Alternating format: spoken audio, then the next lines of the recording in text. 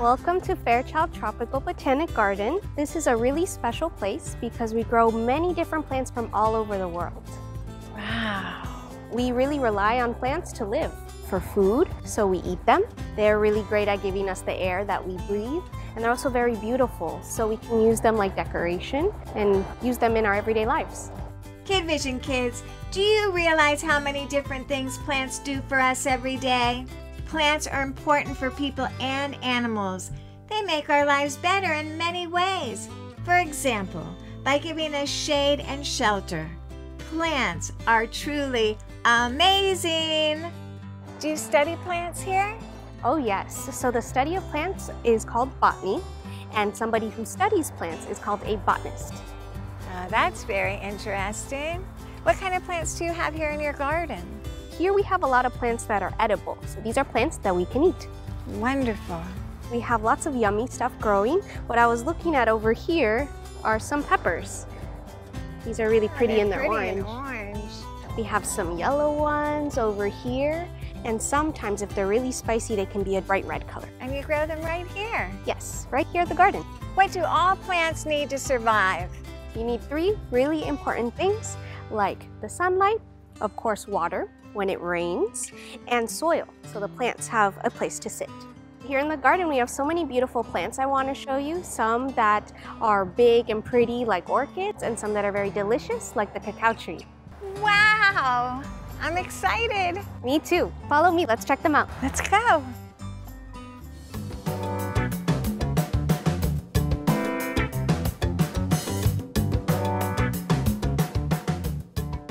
Plant right here is called the cacao tree. It's super special because this is where we get chocolate from. Chocolate. So when this plant grows, it has a really teeny tiny flower that grows on the trunk. Oh, it's so sweet. And then as that continues to grow, it'll create a seed pod.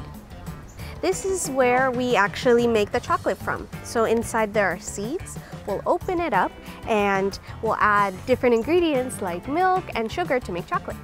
That's great. So you have to start with a tree in order to make chocolate. Yes, kind of like the fruit of this cacao tree. I see one up here. It's kind of like an, an orange yellow. Yeah, so when they're fresh, they're that orange yellow color. And then when they get dried up, they'll turn into this brown color. All right, so now I showed you the cacao tree, which is really yummy and something we can eat. I want to show you this other tree over here, which is very useful in a different way. Great. Follow me.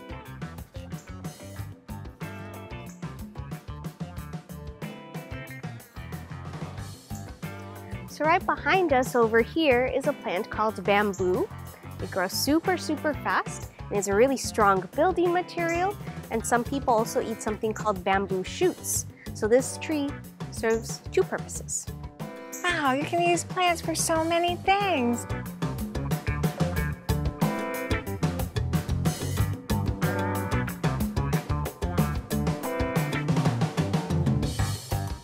Wow, there are so many different types of very cool plants here at Fairchild Gardens.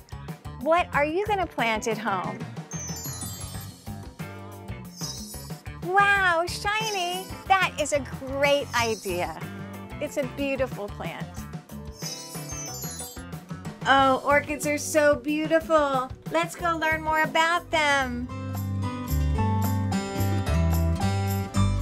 Hi, Nicole. Thank you for meeting us here. I'm Miss Penny. I'm going to show you something very special at Fairchild today. We have a vanilla orchid that's growing up this tree, and it is the very first time that it has ever bloomed at Fairchild. We're so lucky. so if you look up there, you can see the yellow flower that's sort of drooping down, and then you can see a couple other little things sticking out, and those are going to be the new flowers that are going to emerge in the next couple of days. And so a vanilla orchid, does vanilla come from vanilla orchids? It does. Did you know that when you are eating ice cream, do you know what part of the orchid plant you are actually eating? No. It's the orchid seeds, which are really, really tiny. Do you want to go to the lab and look at some orchid seeds underneath the microscope? I would. Would you like to go? Yes. Yes.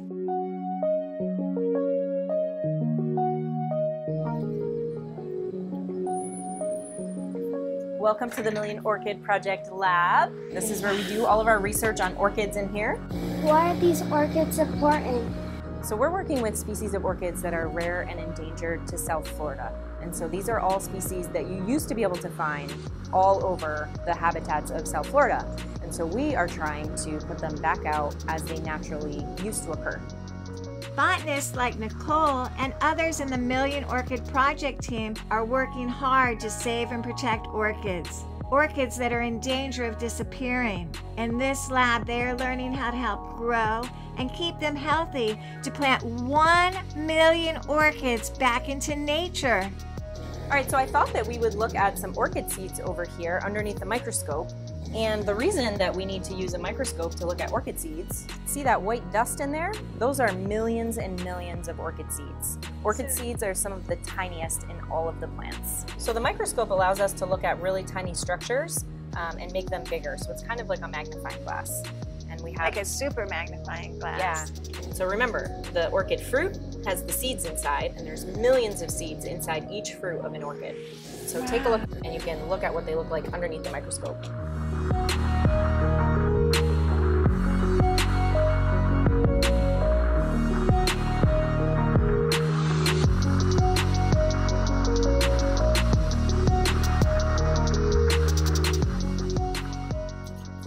So we are walking through the National Orchid Garden.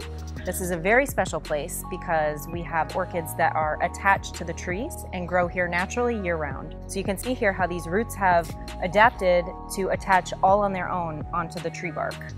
Like you have plants that grow in the ground, they're using the tree bark. Exactly, and you can see here we have a flower that's about to pop out. Oh, it is. I wonder what color it's going to be. Let's keep walking and we'll look at a few more examples of orchids. Let's go.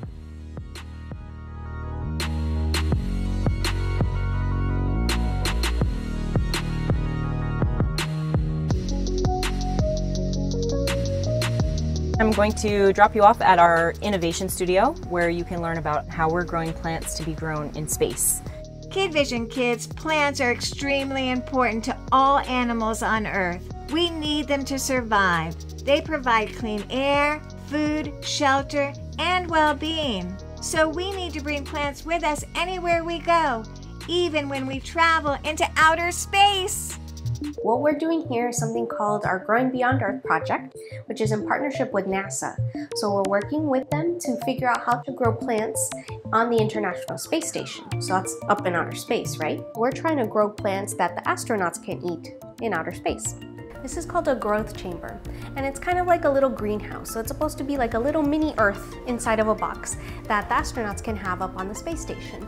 On the space station, you don't have the same amount of sunlight like we do have here on Earth. So we have these LED lights up at the top. So this is kind of like the sunlight that helps the plants grow upwards. We have this kind of dirt and mm -hmm. um, sandy mixture, which is like soil where the plants can sit like they did in the garden. Exactly, like in the ground.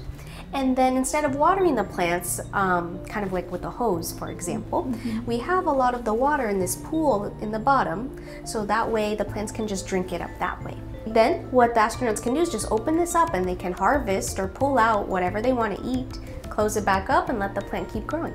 Fantastic. What type of plants are you growing for space? The types of plants that we are growing are ones that are edible. So these are ones that we can eat. And every year we do different kinds of plants. So here we have beans. It looks like we have some herbs like basil down here. So just think about it. You're up in space for maybe a few months or even a year at a time. They don't have grocery stores up there. So it's really helpful to do this project so we can have fresh food for the astronauts to eat. How will you get them from here to space? That's a great question. So we don't really send these up to space. We will send the seeds. So we do different tests here on Earth to figure out which plants work best in this growth chamber. And mm-hmm. then the best ones that we like a lot, we'll send them over to NASA and they'll send them to the astronauts. And then they have the same growth chamber um, on their space station and then they'll be growing them from seed up there. Wow. Just think, astronauts might be eating these same type of plants. Mm -hmm. We use plants like we've been talking about almost every single day in so many different types of ways. So we're just trying to figure out how we can use them in the best way.